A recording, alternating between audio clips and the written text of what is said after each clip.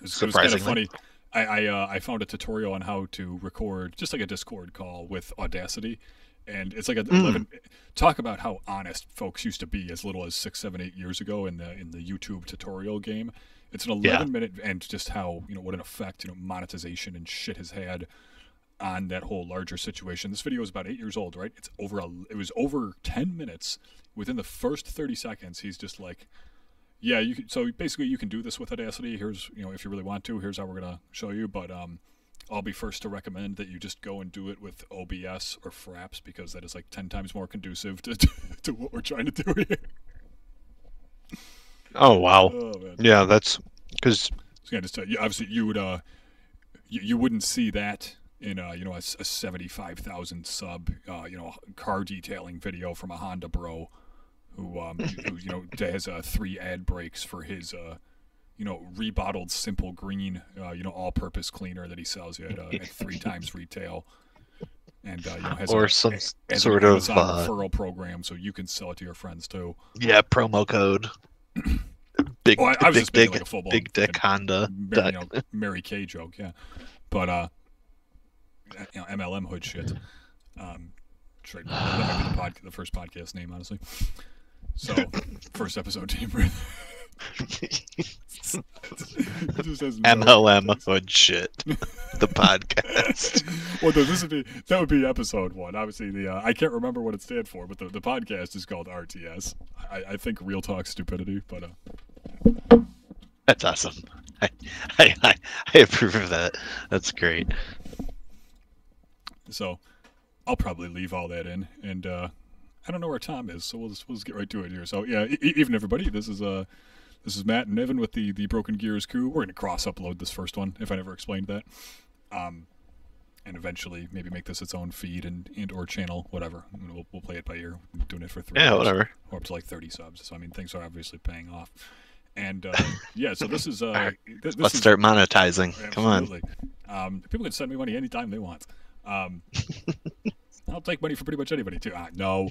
So, um, yeah, everybody, this is uh, this is Matt and Evin with uh, with RTS. Definitely dif- different from uh, from Broken Gears, even though this is going up on the same channel.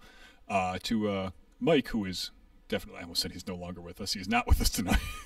he is fine. Uh, yeah, that that, that would have taken day, a uh, real serious was, turn. was going to was going to join us tonight. But um, so this is a premise that, that I had to an extent, but he, you know, him and I had some you know, sort of parallel thinking at the time. So uh, I will borrow his term, uh, his, his choice of words to describe the the larger venture as uh, quote, um, you know, talking about our fucked up lives and uh, and everything going on with them without uh, um, when we don't want to feel when we don't feel like talking about airsoft, um, which is obviously most of our existence, that we want to talk about airsoft, right? We just you know kind of go out, head to head to work, you know, see what uh, Susan from accounting thinks by way of like new HPA engines. Like it was just, just all we do.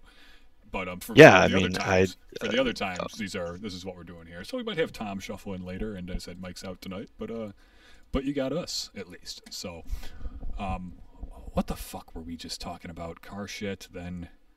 Um, oh yeah, yeah. So Oh, we were just making fun of YouTube videos Yeah, and how uh, YouTube everything videos. needs to make money now, and right. how uh, you know there would be recently 30, 30 minutes of ads. Yeah, yeah, and and my, my main thing, I guess my main point in all that was just like how remarkably tight the time horizon has been. It's, that video is from eight years ago. and Monetization was not a new thing the year I was in college, you know, 20, uh, 2012, 13. Um, I mean, you th- it was more really just like big channels ran ads and big channels had sponsorship. That was about it. I mean, I think I don't know when Patreon and shit like that started, but I mean, nobody really had one.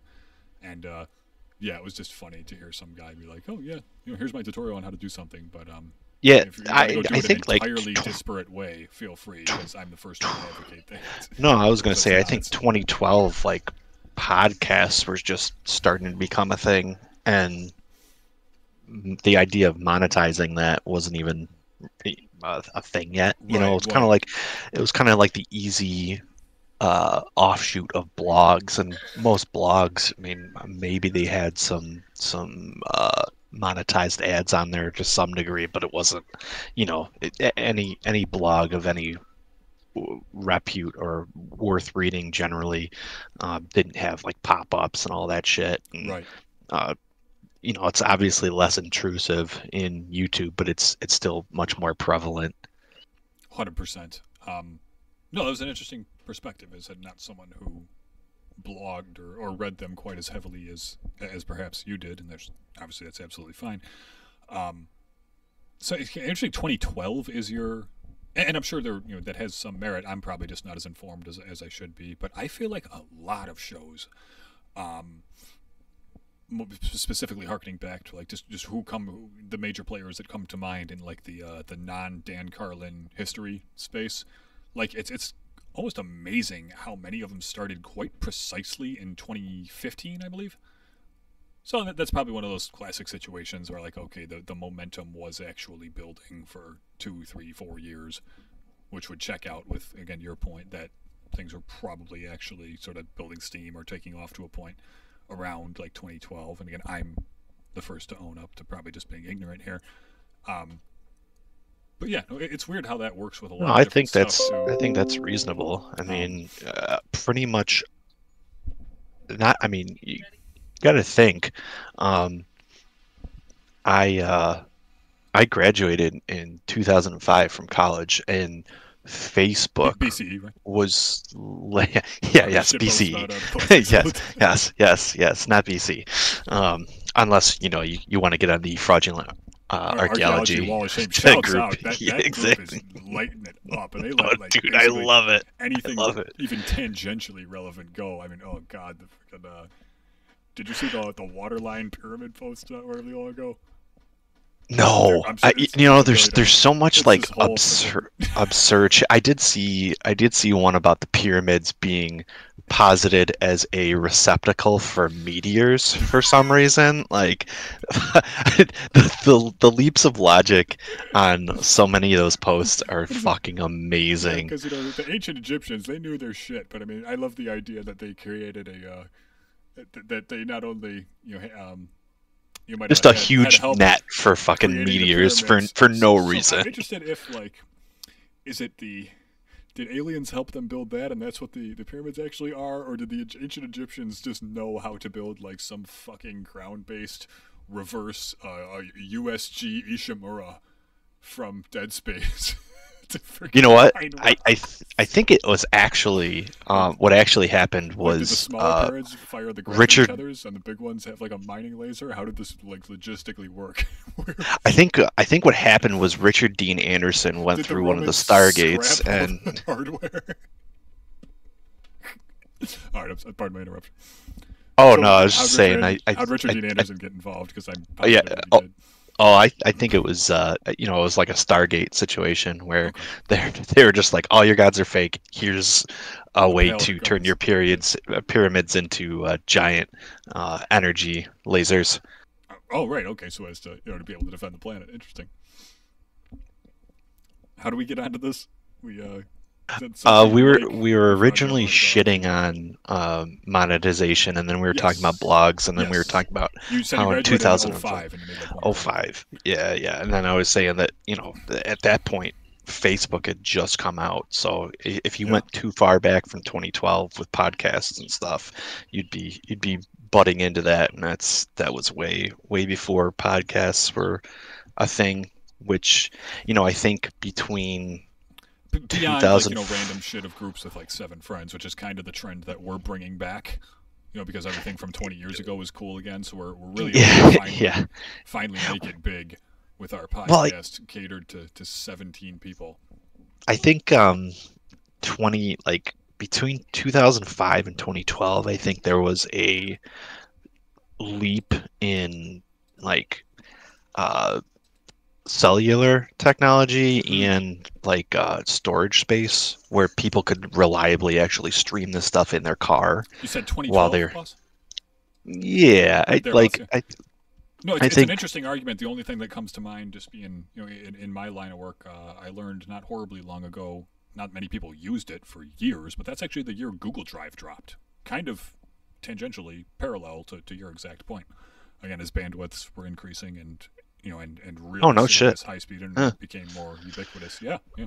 Well, I I remember when Gmail was like an invite only thing, and you get you were getting uh a hundred gigs of storage with that, and everybody was like, "Holy shit, that's crazy!" You know. Right, right.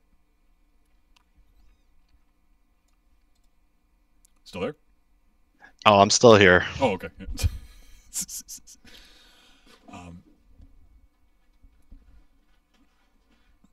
So well, Uh, the end of your point? I'm sorry since- if you were doing what you had to do. It was cool. no, no, I was just gonna say, what what have you been up to? I know you've uh, Yeah, yeah. been so, um, working is- on on um, Bad Company, uh, smiley faces. And, yeah, a few things here. You know, that's actually a good point. We could, uh, you know, basically again back to you know trying to get get into back playing some small role in you know bringing YouTube back to its 2004 glory, six glory. Um, maybe we could do like a just a slideshow of random shit for the video component of this. Thank you for that that inadvertent idea.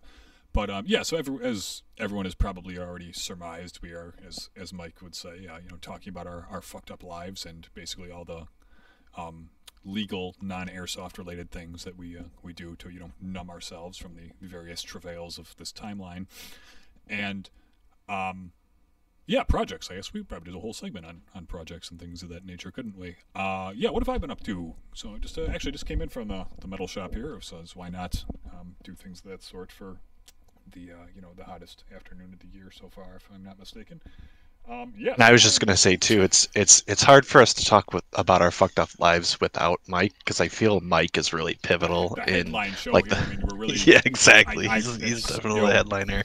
empires were not built in a day. I guess we're we, you are the, or we are the uh, you know the dive bar opening act. And you know, I'm sorry the headline show is just uh is just not in the budget for tonight. We'll uh, we'll definitely make uh, make good on that next go around for sure. He, he said that himself. You know, stuff happens. It's all good. Um, where was I? So yeah, I'm actually banging out some actually perfect opportunity to uh, to shout out. I believe he uh, he follows the larger operation. Um, a uh, customer of mine, customer of mine, Anthony, is uh, is who bought the large amount of uh, Bad Company coasters. I made a. Uh, these are four inch diameter by uh, circles, obviously by eighth inch plate. Um, just you know, painted up like big old smiley faces, like the one inch tag, one inch and two. Uh, one inch and one and a half inch. There we go. Uh, tags I do up for um, you know airsoft uh, grenades and other throwables and, and just gear for you know for fashionable fashionable purposes. And uh, yeah, it went pretty good. He uh, actually originally ordered six. I told him uh, none of them really quite came out as good as I'd like because I'm a fuck up and I painted or I base coated them on um, on top of an old pallet. So a bunch of uh, you know as soon as I flipped one side over, even after a good day to dry, um, I a bunch of uh, you know wood fibers got stuck to them, and I buffed most of that out. But they got a little gritty, and some black paint got everywhere as soon as I uh, started painting them with the stencils. Shouts out to Tom, who may or may not pop in tonight for for 3D printing those for me, as my machine is kaput, and that's fine. Um, but yeah, so anyway, I banged out a batch of ten just for for the sake of evenness, and uh, made him a, made him a good offer if he wanted to get these other four out of my site, and he was like full send. So I uh, now have room in the budget to order myself a second set of coveralls after four and a half years, um, rather than wash the the ones that uh, you know look like I've been stabbed in them four times. Um, so that's fun. I can you know weld again without giving myself any more sunburn than I have to, or uh, God forbid getting my other set dirty. And uh, yeah, that actually is is the main project that, that came to its logical conclusion this weekend. I have uh, some metal signs going up soon of just um, Eve Online corporate logos. That project you've seen the, a few of those photos, but uh, Oh yeah, those are 3D those were really cool. I can't believe how clean those looked for for using a bandsaw. Uh, yeah, no, dare I say, I, I mean, um, bigger curvature isn't the worst problem as long as we're talking uh, outer curves, or was that concave rather than convex? So what's a dome? Concave, Yes, yes, Um, yeah. like the co- trigger on an convex is is convex, yeah. inner. So as long as it's um, again of a decent size and an outer curve, you know, if I have to cut a bunch of pieces away, I will, and then follow up with a bench grinder, a hand file, whatever. You know, it's all all handwork. Um, for full full context, everybody, this is to uh, just kind of supplementing my other metalworking misadventures. I have been uh, looking at doing all kinds of different projects by way of like um, metal signage here, and uh, one of the first projects. Again, it's mostly just personal stuff for now, but I do actually have uh, one or two folks interested in some commissioning some work at some point, including uh, my my new patron Anthony. Um, so yeah, those are are approaching their their end here. Actually, they're pretty much all painted up, or uh, or will be tonight. And I may even have a nice photo or two ready before this uploads of uh, of them all mounted, the two Eve Online Corporation logos, which is pretty cool. Uh, so yeah, that was uh that was this week. I have uh, the back plate for the big one all painted, and I found some perfect, uh, just big round head. I think uh, whatever. What's the is it three six? No, there isn't a. They don't, don't call it a three sixteenth screw. I think that's a number fourteen, right below a quarter inch. Is that sixteenths of an inch? Then I don't fucking know. Um, but I just found, I found like a perfect size sheet metal screw, and and Yeah, there's there's so many different uh, yeah, because it just becomes variations drill sizes. of standard drill sizes. You just go all the way down to the bottom in sixty fourths of inches. But yeah, screws are or screws and bolts and shit are weird. I believe before a qu- or a quarter inch in, or below a quarter inch, it turns into like a numerical thing. I assumed it was sixty fourths of an inch, but um, yeah. So yeah, those are uh, those are about done. Got a couple of little, little custom orders forged wise for some candle holders and, uh, and a door latch I just painted earlier. Um, yeah, things are things are happening cool. as I'm told. Cool. to say. Uh, what's uh, what's going on at your end? Working on anything fun? Any uh, any interesting research? You're our, our resident academic, or the uh, the closest thing to it. How do you feel about that? Uh, yeah, I, it's I don't know. That's that's a lot of responsibility for. Right. Well, I guess it's not really because lot of ways, it's not. none of us none of us are very smart, so I guess Right, it's right, a low bar. But um, yeah, most of the stuff I've just been researching has been for my my dad's collection. Mhm. It's just kind of figuring out either what certain insignia is or how much certain stuff is worth or um, just kind of trying to date or figure out the uh, theater of manufacture for some of this stuff. And it gets it gets uh very complicated very quickly unfortunately. you you know there's there's uh Vietnamese made versus Korean made versus US made and then there's World War II stuff which is there's Aussie and there's English and there's German and there's Italian and there's US made uh, versions of US insignia. So it's and they all have their own kind of little intricacies or idiosyncrasies that you have to try and figure out. And then there's like fakes and repros. It's it's just it's you know and that's just that's just the patches. Uh, then there's like books and and uniforms and stuff too. So that's that's like absorbing 90% of my time right now which uh, you know i'm enjoying it. It's just Sure. it's it, it gets it gets a little complicated sometimes to try and uh, accurately figure out what some of this stuff is Right, right. It's uh, I believe what the kids call a rabbit hole. You may or may not have uh, have fallen down to, to some extent. Is that? Yes, very much. It's it's it's no uh, it's no Hot Wheels re- restoration, but it's it's close. Right, right. Still a lot of work. Um. No, that all sounds pretty cool. I know you, you keep me posted with, with relative regularity on a lot of some of your uh, your more interesting finds, and it's uh yeah, it's quite a collection. Um, Yeah, it's uh, like uh, it's it's very hard to understand how some of this stuff came to be in the U.S., let alone in this, you know, in the Northeast. Um, like that that Israeli paratrooper uh, insignia that I sent you the one Yeah, time. yeah. Um, but there's also a bunch of Chinese Civil War medals that I found. Um. Yeah, there's probably 50 of those that he has that I I can't imagine where the hell those came from. But um, he's got he's just got a bunch of weird stuff. I mean, he's got it's all cool, but it's just like it's a little mind-boggling to try and figure out where some of the stuff came from. Right. Interesting though. Like, way to keep. No, it's uh, like I said, it's it's interesting from a historical perspective, and I'm I'm learning certain stuff that I I didn't know, uh, historical or historically related Right. of certain specialized units that existed and and stuff like that. Um, but yeah, it's it can be a little time consuming. Hundred percent.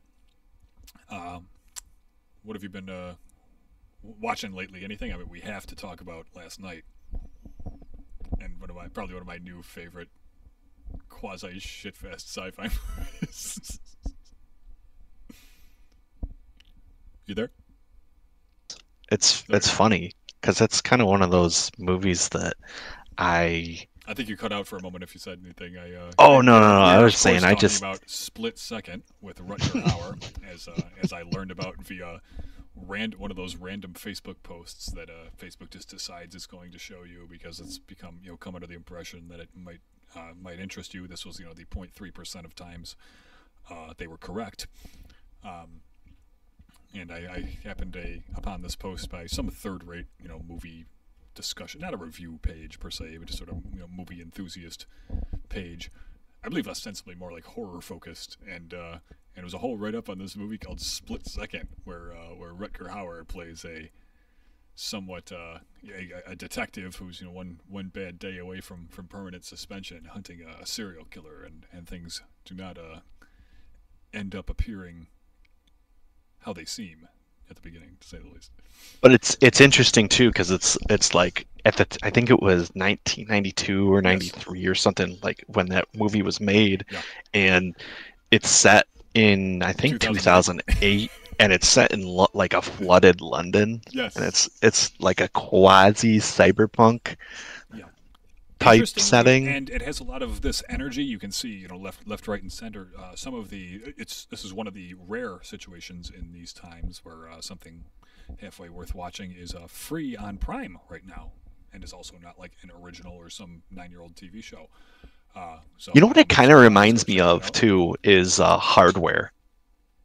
I think I heard of that one, but anyway, my, I, I know you've heard of that one because I remember us talking about how it's actually based on a 2000 AD um, presents story, um, Oh, okay. and they actually got in a lot of trouble for that because they basically ripped off the uh, the uh, the uh, plot line of it, and then um, I think John Wagner had written the original uh, story, and they ended up having to give him writer's credit and stuff. Hilarious. But it's it's got kind of the same energy. It's it's much less goofy, um, but it's got the same sort of aesthetic to use a overplayed term. Yeah, yeah, and I was just beginning to say uh, Amazon is cool in that at least when you're watching on um, on a computer, I don't know if it's just our. I've heard of it working on other TVs. It's probably just our shitty Roku where it doesn't work right. Um, but just like the uh, trivia pop-ups on the pause menus, uh, one of them Oh, yeah, yeah, up earlier on and actually stated that uh, f- for some reason it was reevaluated at some point, but it was going to be set in. Uh, you know, in obviously this same larger, you know, universe they ended up fleshing out, but in uh, L.A. and a lot of parts of it too Oh. still uh, you kind of have that. Yeah, I energy, could see that. but just kind of cool. But yeah, It's uh, um, it's it's funny how um, Prime to a certain degree, but I, I don't know if you mess around with Tubi at all. yes, Tubi has like just some good shit. Yeah, some really wild stuff um, that either you know I haven't heard of before or I haven't seen in forever, and it's you know with the way that a lot of these streaming services are going, the the commercials aren't any worse than say Prime or uh, Net well not Netflix quite yet, but Hulu or any of those. the ad with the ad supported plans. Yes, yes. Um, and yeah, no, to your point about Tubi, they're kind of like the new. Uh, the, the new at the lower level what um you know Starz was among the premium cable networks a, a few years ago that they did uh you know no one talked about it because something you know was was big on on HBO or Skinamax at any given time but um, no they were doing some some interesting stuff and and continued to for for quite a while uh, Tubi in particular just back on on topic directly uh, my cousin actually uh, works in film and uh, just one well maybe a year or so ago now a little over a year won uh, some script writing contest, and I believe it is being adapted into some sort of like TV movie by uh, by Tubi. Um, last I heard, sometime this year. So we'll definitely shout that out. Oh, that's cool. Future episodes, um, if uh, if that comes to be. Yeah, actually, I was just texting her yesterday. I'll have to follow up and see what's going on with that. But it was absolutely them that were uh, pro- that would be producing it. If, Is if it uh, is it the Death Approaches That would be fucking hilarious. episode one? Um, yeah, I'll, I'll send her that next. So, uh, but yeah, so we were talking about that, and um, yeah, how long ago did you watch the movie? I mean, I'm just trying to figure out how you know, what level of, of conversation. Uh, split second. Um, yes, I'm sure it's a. Uh, the last time I watched it was probably maybe six months ago, but I, I Oh, mean, God, I rented that. Yeah. I rented that on VHS as a kid a Sure. bunch of times. Okay, that's hilarious. The timing worked out that well then that I discovered it. Uh, Oh yeah, dude! As soon as you mentioned it, I was I like, "Oh fuck say, yeah, dude! You gotta yeah. watch that movie. That movie's great." I thought you were say, or you, you remember it from you know ten years back, which is one thing, and we could probably still have that conversation. But yeah, um, no, this is one thing that really spoke to me. And again, we're not going to sit here and talk about this shit like a, you know, like whatever you think the the top five are by way of like you know Francis Ford Coppola's work, but um, because it's just you know objectively. You know, it's got a, I think a 6.1 on IMDb, and it is on like the more fun end of movies. Which of, is of that for- caliber. You know, it's not. I was gonna say for for IMDb for that to have a six point one, That is like with yeah, that's an the amount- modern action movie. yeah, like the the like, it's not bad. You know, it's, uh, the type of uh, the type of bullshit that gets high ratings on there. That's that's honestly way higher than I would have thought. oh, 100 percent, yeah. And and just how uh, again critical per capita they generally are over there. So this is again get the idea out of your head that most things that get a six on IMDb um, are you know the movie equivalent of you know to most people are the are the movie equivalent of you know getting a 60 on your math test. It's just not the case. And uh, one thing I was thinking about working on some projects today, not that those projects in any direct way relate to the movie, but I just you know watched the movie late last night and was, was thinking about it more, is how um, well a it's you know sort of a classic, uh, proper horror trope, if you will, I guess, where the um, entire uh, you know uh, the, the monster's entire existence and you know and, and motivations and and origin story aren't completely fleshed out by the end. Um, I particularly thought it was interesting about the, and, and not that they beat this over your head from from one perspective or the other, but uh, the um, yeah, I guess would say the, the implications of some level of religious over uh, not overtone but religious element in terms like okay was this thing, you know what uh, you know actually inspired the idea of like a demon is it quite literally some sort of demon? Where did it come from? Was it, uh, you know, obviously they, they tie it back to some, some pretty hokey uh, lore, if you will, but it's it still does it does the job in terms of like, you know, victims being particular zodiac signs and uh, it, the monster is ba- he- he killed somebody a couple or it killed the Rutger Hauer's partner quite a quite a ways before. Was it three years? I think before the movie. Oh yeah, it was something like that. But I, And, I um, think the the the fact that some of this stuff is a little hokey, Yes. it can it can kind of get away with it because it it's It's a really it's good it's a way, yeah. good yeah, and it's a good movie, but it's also a movie that kind of skirts the line well between being a serious movie but not taking itself deadly serious, Yeah. which can be you know for any movie can be kind of tricky. 100%. Um, but this one, you know, it's it's silly enough in certain spots that you're kind of like, okay, yeah, I'll, I'll you know, I'll I'll roll along with this this thought process. Yeah. And speaking to that too, um, I don't know if you've ever seen it. It uh, John Carpenter's Prince of Darkness has a a similar kind of thought process in terms of connecting a sort of science fiction concept with religion. Okay. Um, it's not that it's not like it's it's a good John Carpenter movie. It's not his best, but it's the theory behind uh, a lot of it is very interesting. It's Okay. it's worth a watch. yeah, I might do that tonight. I uh, that was not one. I was on a John Carpenter kick a little while ago. That was this. This was definitely not one I, I ever ended up getting to. What uh which ones have you seen? Of his work, I mean, it was remarkably late in life that I watched The Thing all the way through. That was six, seven Oh. years ago. Oh shit, Um, man. Oh, it was, it was actually. A, I shouldn't say that. A couple years before that, I, I made it through. You know, Escape from New York and L.A. Um, Have I ever mean, told you the about the novelization of um Escape from New York? no. Oh, dude, it's so fucking fucking cool.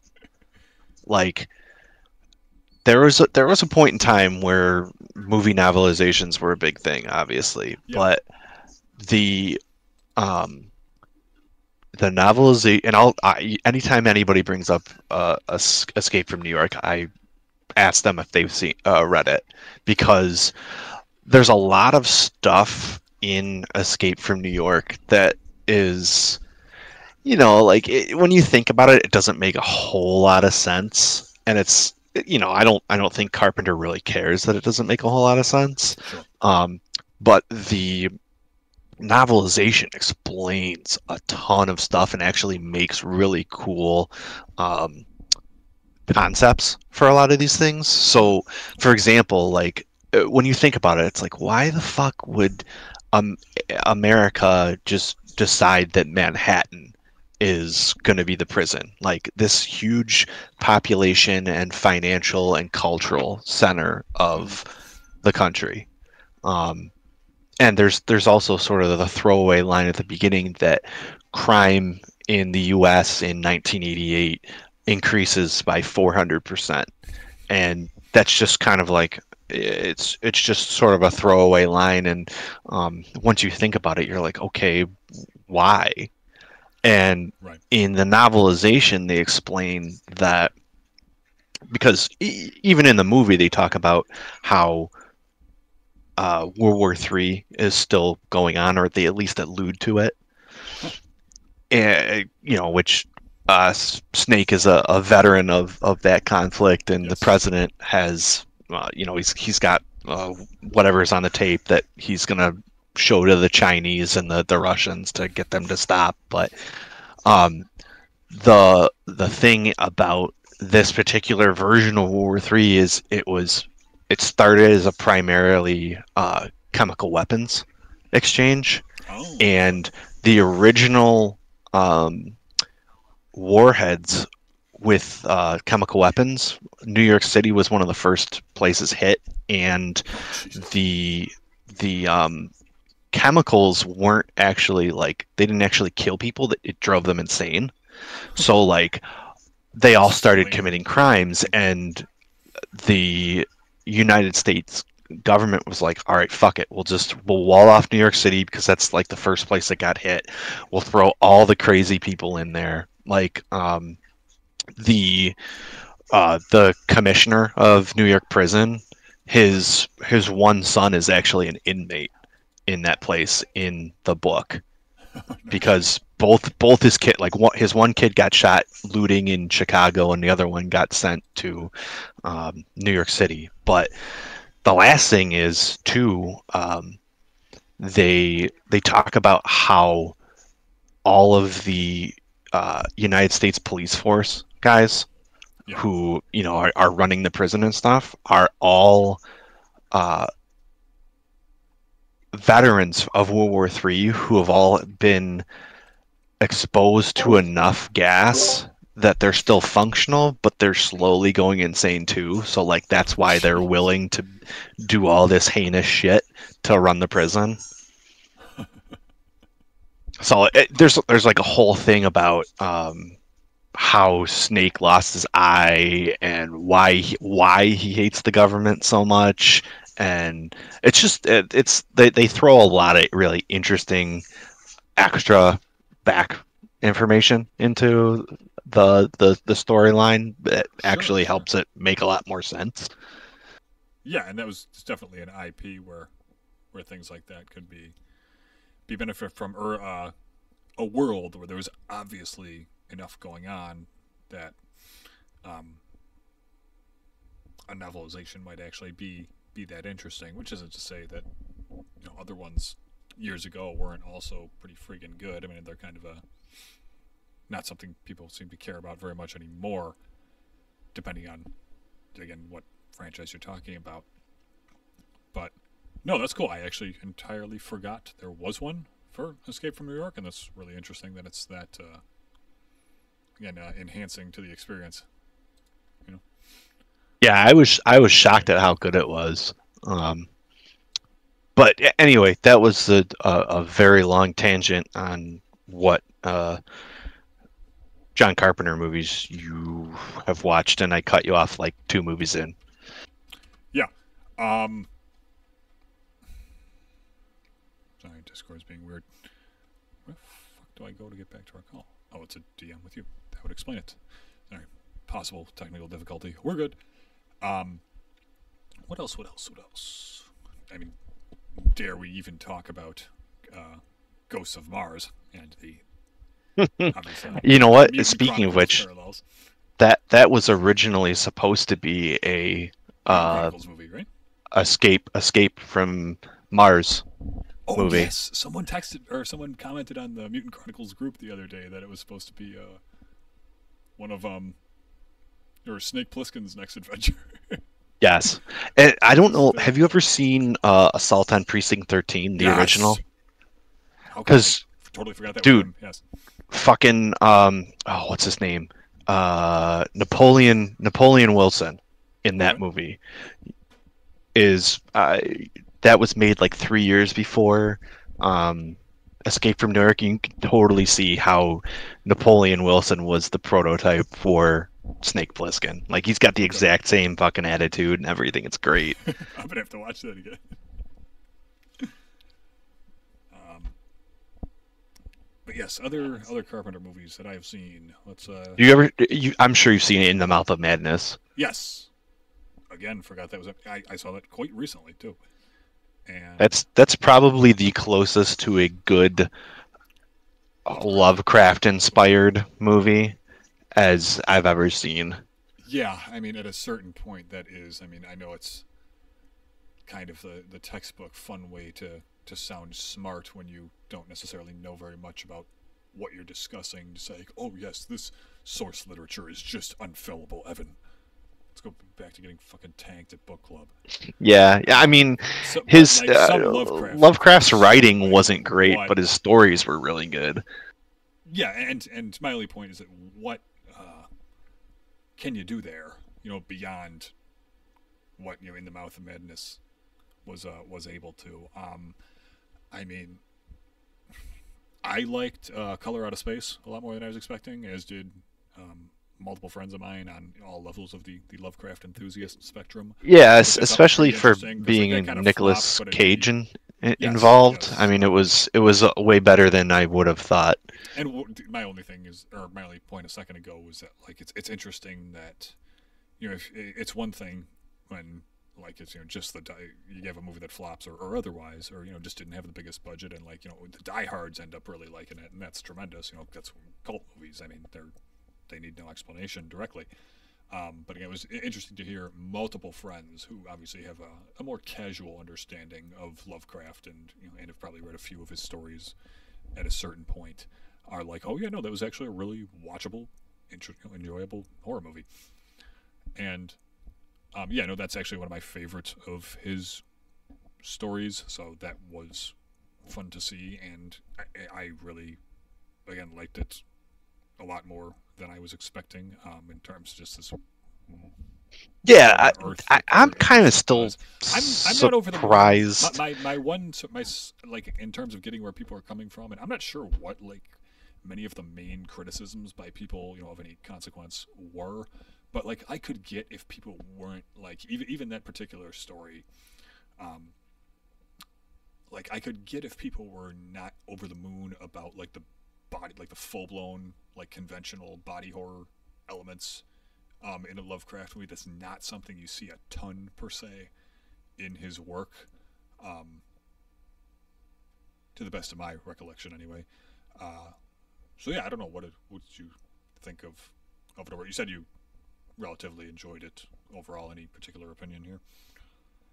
Oh, you're cutting out a little bit. Oh, my bad. Mike was a little far away. Um, all I said was, sorry, it's been a day.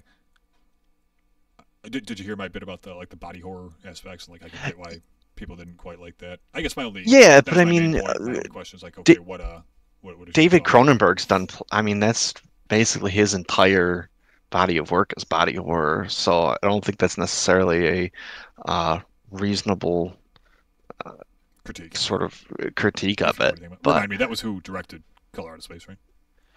No, no, no, no. Uh, he's he did like the Fly remake, and he's done um, uh, Crash. He's done a, a shit ton of movies, Scanners, but Oh yeah. like he's he's done a ton of body horror stuff. So people saying they don't like body horrors, they're not, especially horror fans, not really a, a reasonable criticism. Um, I, the one thing that always surprises me is that nobody's ever done a movie of Shadow over Innsmouth, which is probably Oh yeah.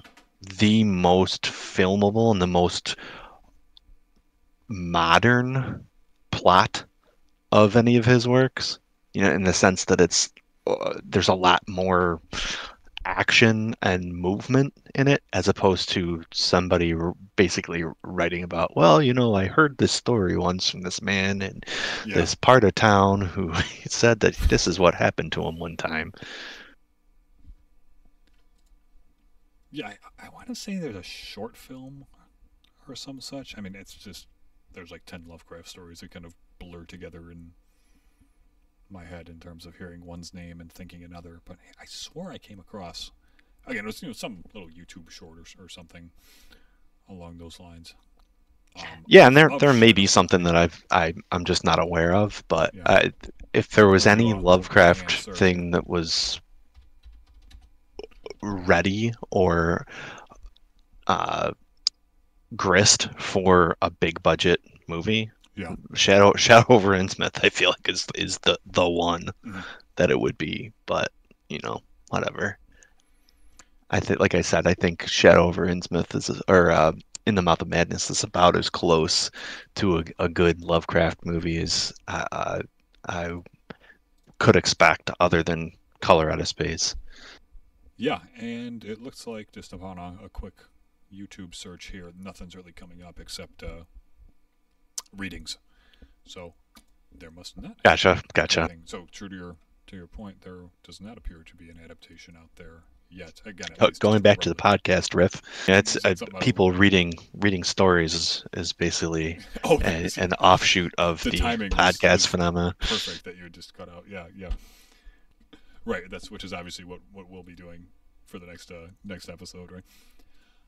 Oh yeah, but uh, you know, I'm not going to read something like Lovecraft. I'm going to read, shorts, yeah. you know, Sun Tzu or you know, Romance of the Three Kingdoms or Something, you know. something more straightforward. Yeah. yes, exactly. Some, something something less less uh, you know, meandering. Sure, sure. The Prince we might be able to get to. That's a th- th- that's a roadmap Oh my God. now. the right? Inferno, Dante's Inferno. Let's do that. We cover everything here. Actually, I would- I would probably pay money to hear Mike read uh, Sun Tzu or or uh, Dante. We'll have to force him to next time then. It's all public domain. yeah, exactly. I have a copy of Art of War. I'll buy one of Inferno if I have to. Oh, that'd be That's a- great. Mike reads. Wh- Why do you feel those uh, either of those particular works will be will be fun with him? I mean, I agree, but Oh, just because, like, I'll, I'll especially with Sun Tzu, like, there's, I, I like his. I've cadence- heard of, I've heard of certain portions of three, the Romance of the Three Kingdoms are kind of goofy, but like, the just the absolutist, like, axiomatic, um, tone of the the art of war, where it's like this is always true, and it always will be true uh, is is just kind of ripe for for a an over the top reading. Hundred percent. Um.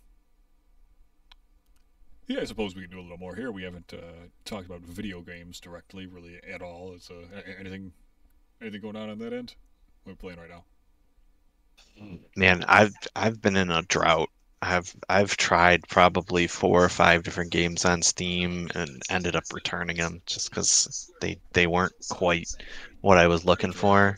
Um, I've been having trouble getting into anything other than you know like Vampire Survivors, which is so so mindless. It, it I don't even know if it really counts as playing. I've heard this one. Yeah. Um, I don't know as much about what kind of game it is, but what uh, what just came out? I think Worth a Buy did a video on uh, V Rising.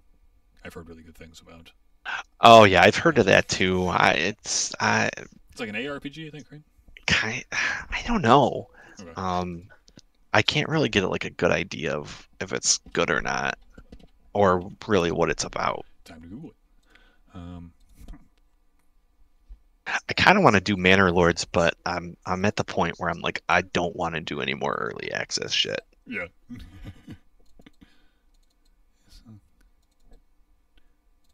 What about you? Have you been playing anything good?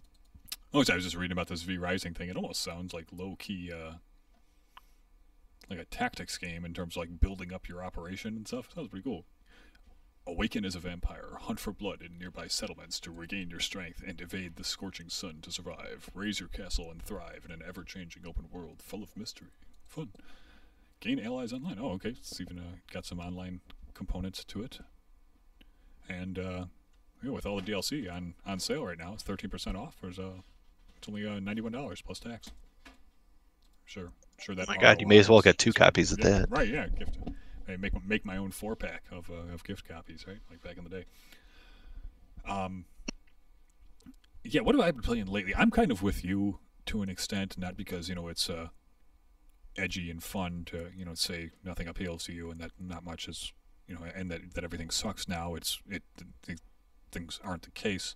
Um, obviously, just coming off of uh, musical musical work schedules, literally this past week, I've finally transitioned into my, my normal hours. I've worked a different shift for the past three weeks now. I don't know, even for the very uh, generous pay, I don't know how these people still do it in, in some lines of work where this is like the norm, but I digress.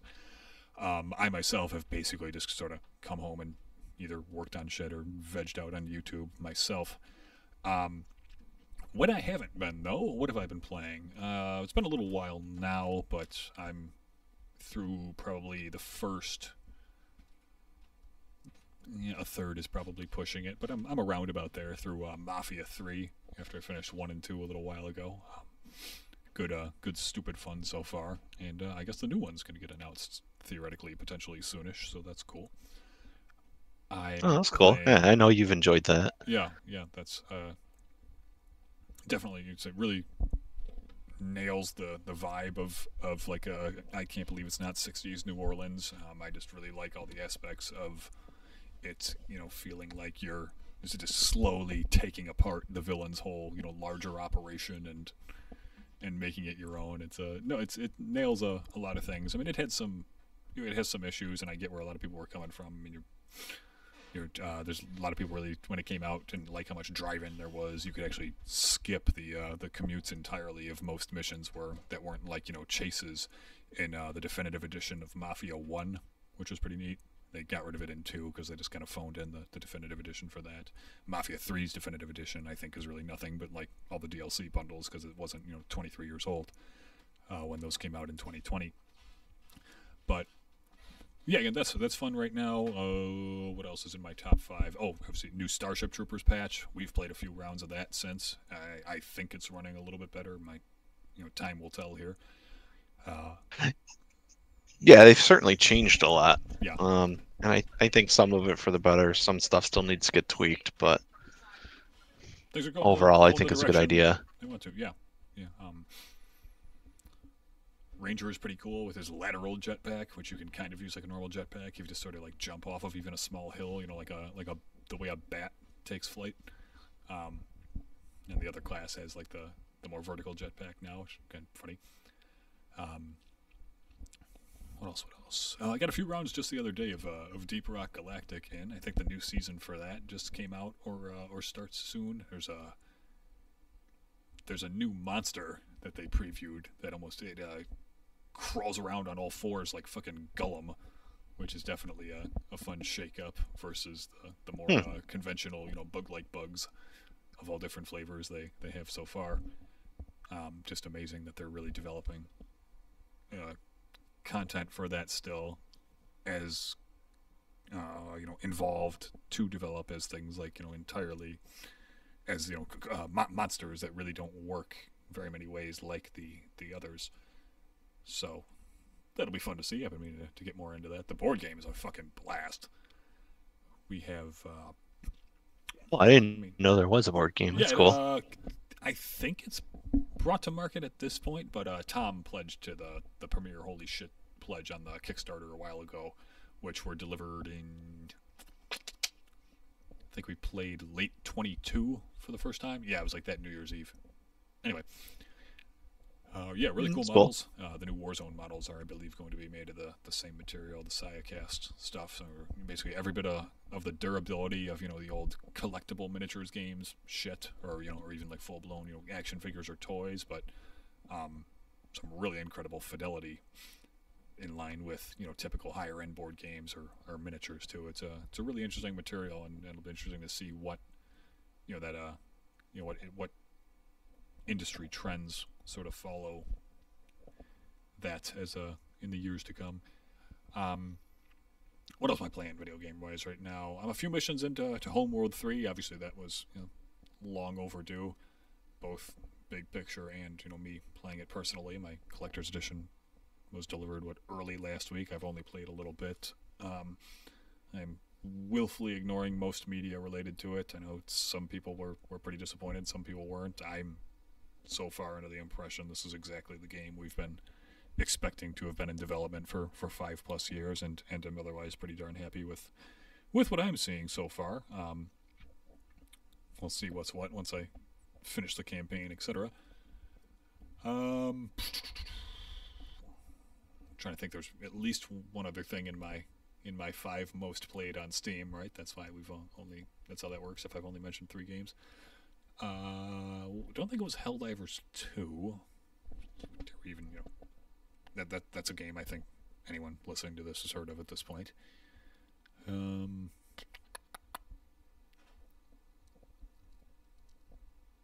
Yeah, there's one or two things. I, know there's a bunch of other stuff I have installed, but I, you know, I, you know what I have had installed for a while is uh, is Aliens: Dark Descent. I, uh, I, I gotta gotta dive deep into that. Oh, you know what the um, I was it just reminded me with it being a tactics game. I started a fresh uh, Warhammer Mechanicus playthrough after I think it's been three years.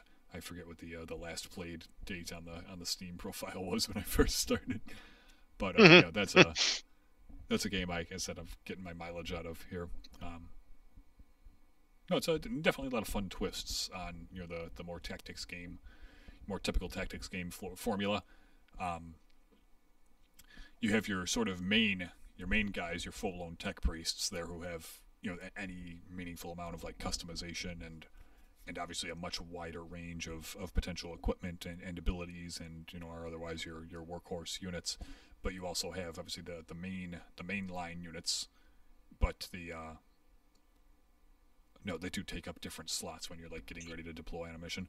So certain certain just sort of like line units which get unlocked as you progress through the game things like servitors you know uh, the melee and ranged skitarii uh, kataphrons later even castellans um, you know you, you pay the same currency you use for like uh, leveling up your your tech priest. You don't really buy equipment in this as such. You you find you know the the lores. You find the standard template constructs, and then it becomes unlocked to then give to basically as many units as you can. But you don't have like a finite amount of the equipment.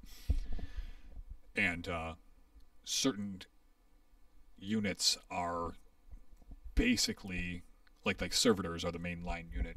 You can um, you can bring in the early game and you can bring a functionally unlimited amount of particular units. Again, some of them just cost uh, Blackstone is what the currency is called.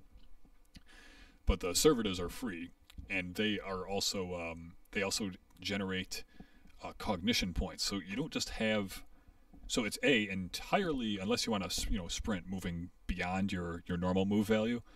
Uh, cog- cognition is basically the action point equivalent and it's entirely divorced from movement. So you get your, your base movement. If you want to move faster, you can burn cognition, and then cognition is, is what you spend on all different guns and other abilities.